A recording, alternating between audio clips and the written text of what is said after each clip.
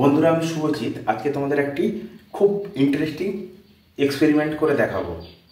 একটাতে ঠান্ডা জল ঢালবো আর একটাতে গরম জল ঢালবো। তো ঝটপট ঢেলে ফেলি। এটা রুম টেম্পারেচারের নর্মাল ওয়াটার ঢাললাম। সম পরিমাণ আরেকটায় সম পরিমাণ গরম জল ঢালছি।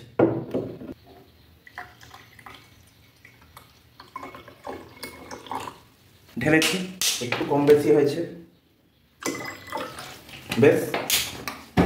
তাহলে এতে ঠান্ডা জল আছে মানে রুম টেম্পারেচারের জল, এতে গরম জল আছে। দুটোতে দু ফোঁটা করে বা চার ফোঁটা করে আমরা কালি ঢালব। চার ফোঁটা ঢেলেছি। দুটোই পরীক্ষা করে দেখব। কি হয়? লেটস সি দ্য ম্যাজিক কি দেখলাম বন্ধুরা?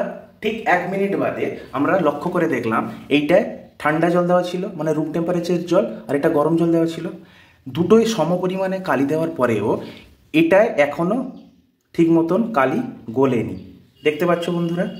এখনও কালি গলেনি। বাট সম পরিমাণ গরম জল দিয়েছিলাম, উষ্ণ গরম জল, এবং সম পরিমাণ কালি দিয়েছিলাম। তোমরা দেখতে পাচ্ছ খুব সুন্দরভাবে মিশে গেছে। কিন্তু একই টাইমে একই টাইমে পাশাপাশি দুটি গ্লাসে সমান কালি দিয়েছিলাম, চার ফোঁটা করে কালি। একটাই ঠান্ডা জল ছিল, একটাই গরম জল ছিল। কেন গরম জলে তাড়াতাড়ি মিশে গেল? এবং কালিটা বোঝাই যাচ্ছে না, এত সুন্দরভাবে মিশেছে। এর কারণটা একটাই, গরম জলের অনুপরমাণুগুলো সর্বদা গতিশীল হয়।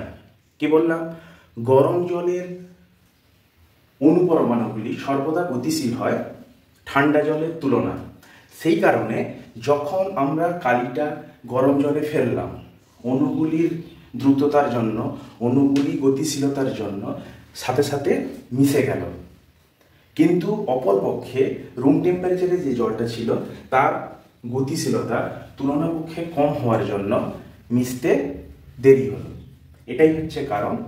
তাহলে আমরা কি জানলাম? লিকুইড বা তরলের ক্ষেত্রে অণুগুলি সর্বদা গতিশীল হয়, কিন্তু গরম জলে আরও বেশি গতিশীল হয় অণুগুলি এই যে গতিশীলতা অণু পরমাণুগুলির এই যে গতিশীলতাকে বলা হয় ব্রাউনীয় চলন। কি বলা হয়? ব্রাউনীয় চলন বা ব্রাউনীয় মোশন। আশা করি বুঝতে পেরেছ। এই কারণে যখন আমরা জামা প্যান্ট কাচি, সাবান গুঁড়ো বা সার গুঁড়ো মেশানো হয়, ঠান্ডা জল বা রুম টেম্পারেচারের জলের সাপেক্ষে তোমরা যদি গরম জল ব্যবহার করো, তাহলে সার্ফ বা সাবানের গুঁড়ো খুব ভালোভাবে মিশতে সাহায্য করে। আশা করি ভিডিওটা ভালো লেগেছে। ভালো লাগলে বন্ধুদের সাথে শেয়ার এবং সাবস্ক্রাইব করবে। Tata bye